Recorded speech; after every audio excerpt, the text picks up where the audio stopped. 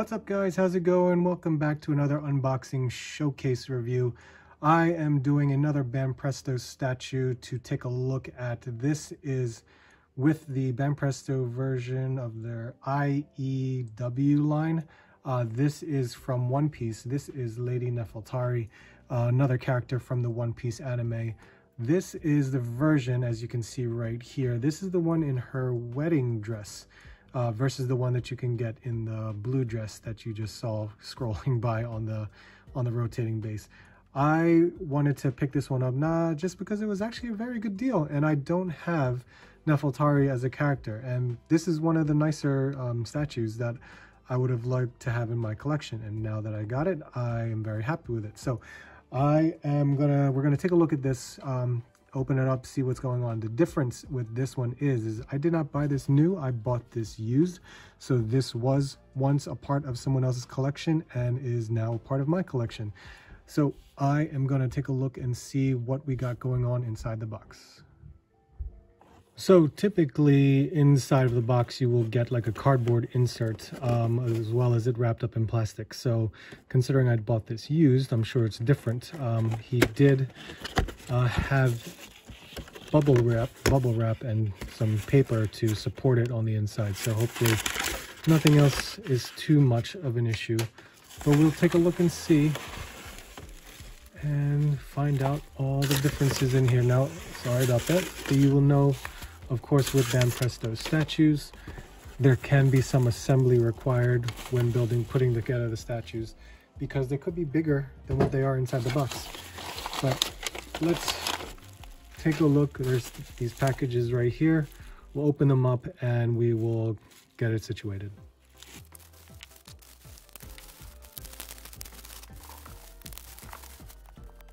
Guys, it has three pieces to put together. We have the entire body, all from head to neck, of course. Uh, we have a stand for her to make sure that she stays level. And then we have her head with very, very long flowing hair that probably wraps around the side of the body. So let's take a look and see what we got.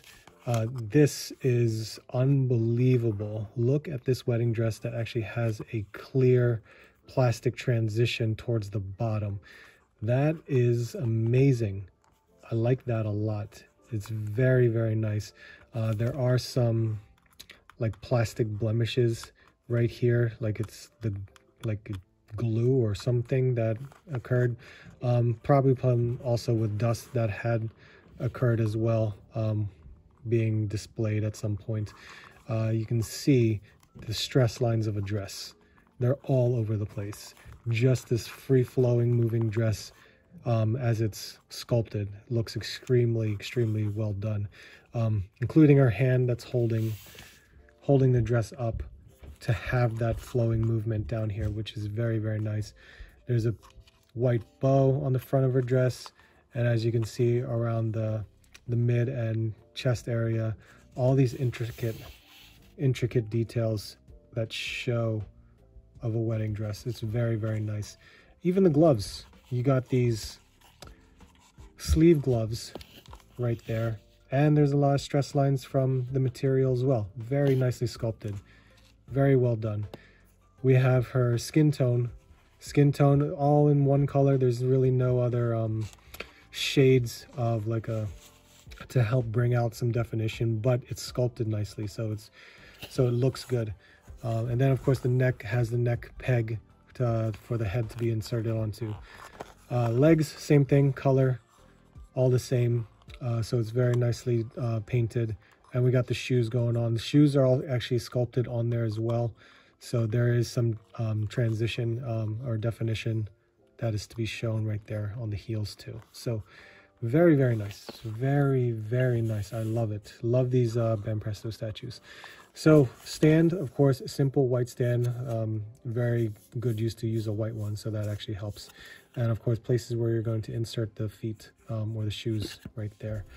Uh, the head head sculpt and head paint or the tempo very well done as well looks great i don't really see any misalignment in any way um, but it looks it, it looks great We got paint that's sculpted onto the ear. So the luckily there's some white paint um, for the earrings. It helps out, but you can if you get close enough, you'll see that it's kind of like splotched a bit. So that's okay. It's it's very small. It's very minor, but I don't mind it. Hair all one color. I don't see any black to help um, bring some of it out, but it's anime. It's not. It's it's still good. Uh, there is the some loose parts of the hair, which makes it so uh, you can see a seam line right there, but it doesn't seem too bad. So it actually works out nicely. We've got some loose ends of her hair right here in front of the face, but overall looks great. We got the bell, the the peg hole for the head. As you can see, it's a particular shape, so you know where to insert it into the neck. But let's put this on, and then we'll stand her up onto the stand and then do some heights and comparisons. And from what I see, yep, do I have it on right? Yep, there you go. You can see the shapes of it. There we go. So we're gonna, that's a very snug and tight fit. So you want to make sure you press hard enough, but not too hard where you feel like you might bend or break it. And just check to make sure you can see in the neckline there's no issue or gap that's truly noticeable. And we will insert our feet. I am, I don't know, uh, you know, it's just awkward because you got to insert them both at the same time. So you got to make sure it's leveled correctly. Right there and right there. Okay, so little gap, but not a lot but I have it on there so that way it's sturdy enough. And there you go, we got her standing. All right, let's take a look. All right, guys, there you have her. This is beautiful. This is a beautiful uh, statue overall. This looks great. Look at the hair flow, just outgoing, especially with the dress happening. This is wonderful. I am glad I picked this statue up. This is great. And I'm sure with the blue dress, it looks just as great. But for some reason, with this wedding dress, I think it looks phenomenal. This is a beautiful, well done statue. Love how it's posed. She's got her neck tilted to show some emotion right there. Shoulder, hand to her shoulder, hand holding the dress, and the dress is flowing. This is very, very well done. Very nice. So let's take a look at how tall she is. And then we'll do some comparisons with some other One Piece characters that I have. Um, for this particular one, she stands right about uh, nine and a quarter, nine and a half inches. So nice height, very, very nice height. Uh, in comparison, I think the Glitter and Glamours line would be a better comparison in terms of scale. So my last review was of Jewelry Bonney, which is right here. There's Jewelry Bonney. So she is, she's definitely taller. Um, I'm pretty sure they could be the same height, but then again, I can't remember if she was taller or not. Uh, and of course, we have another glitter and glamours of Boa Hancock, who is taller there. So this IEW series, I think, is a smaller scale. Uh, I believe she could be part of like the one one eighth scale, and these guys might be one seventh scale. That's a possibility. That's what I'm thinking. So, uh, even so, within this realm of the scale, I'm perfectly fine with them having in my collection because they're all around the same the same height. They're all between like 8 to 10 inches tall. Now, versus uh, my other One Piece statues, the Grandista line, the Grandista line is going to be much, much taller. As you can see, there is Nami right there. Incredibly high. Even Trafalgar, look at that. That is huge. So, uh, it'll work. It, it, it can work in my collection. I think it's going to.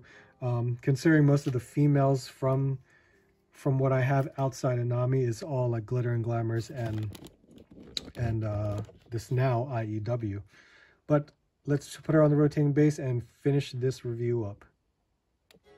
All right, guys, there you have it. There she is. This is Nefeltari. Glad to have her added to my One Piece uh, statue collection. I hope you guys enjoyed what you saw in regards to the Banpresto lines that I've been doing all these unboxing showcases. I'm definitely enjoying them. These are some amazing looking anime character, uh, character stylized figures for my collection. I hope you um, enjoyed it, and I hope you are, if you're into anime, I hope you collect some of these statues as well, because these are amazing. These are very, very well done. Um, but if you do, let me know what you guys collect. I would love to hear from you. So make sure you hit that like, comment, subscribe. Almost at 4,000 subscribers, so please help me in doing so and trying to reach that goal. I would greatly appreciate it. But thank you guys so much for watching. I hope to see you soon, and I hope to see you on the next hunt.